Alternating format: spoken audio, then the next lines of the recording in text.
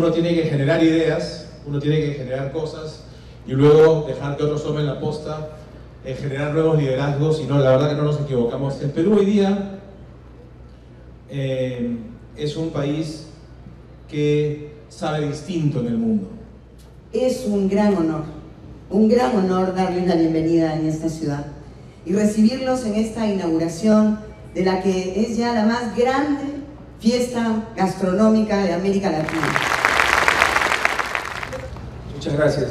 Voy a eh, primero felicitar a los organizadores de este evento, pero sobre todo a los eh, cocineros de todo el Perú que hoy día vienen a exhibir lo mejor del arte culinario del país.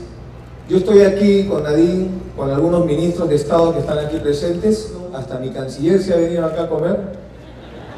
Hay personalidades que estoy viendo como embajadores de países hermanos y simplemente darles la bienvenida en mi condición de presidente de la República, pero un comensal más para también degustar la comida. La comida es fundamental.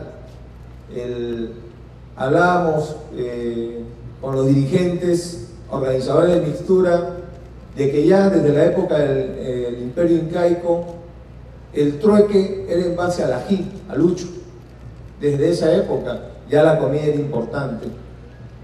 Cuando los incas entran a la Amazonía, después de muchas formas de tratar de penetrar en la Amazonía, encuentran la clave, que es con la comida y con la música.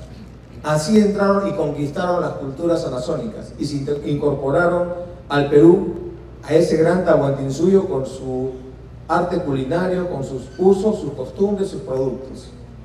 La costa también aporta a lo que es la comida peruana. En esas viejas historias de cómo se inventa el ceviche, cuando a los pescadores, a los, en la época de la esclavitud, enviaban a los pescadores y los dejaban sin almuerzo para que regresen con el pescado al puerto y no se queden mucho tiempo en alta mar. Solo les daban el limón para luchar contra el escorbuto. Y ellos, esos esclavos, aprendieron a macerar el pescado en alta mar con el, con el limón, produciendo el primer ceviche peruano. Por eso es que el ceviche es peruano. Y así hay muchas historias del arte culinario.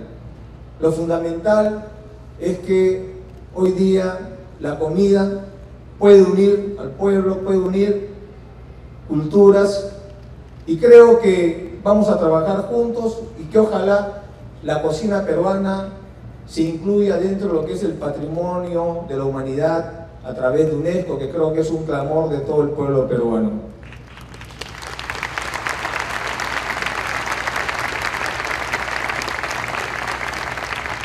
Por eso quería venir aquí a respaldar lo bueno que hacen los peruanos, lo bueno que hacemos y que hacen justamente darle otro sabor, otra tonalidad, otra imagen más positiva del Perú ante todo el mundo.